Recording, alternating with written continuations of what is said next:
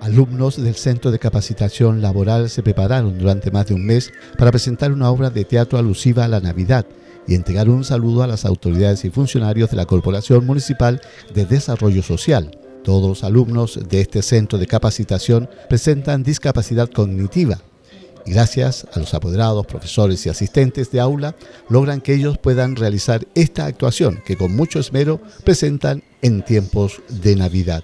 El Centro de Capacitación Laboral recibe a estudiantes que presentan un déficit intelectual, pero ante estas actividades que son innovadoras, que son, que son fuera del, aula, ¿ah? es muy importante para ellos, por lo tanto ellos se motivan y es rápida su, su, internalización de los parlamentos y todo lo demás. Por lo tanto, esto lleva apenas, apenas digo, un mes de trabajo con los profesores y con los asistentes de la educación.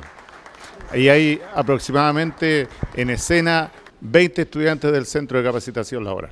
Los funcionarios de la Comodesi esperaron a los estudiantes con dulces y presenciaron con mucha alegría esta alegoría del nacimiento de Jesús que los estudiantes saben interpretar a su manera, con mucho talento y dedicación.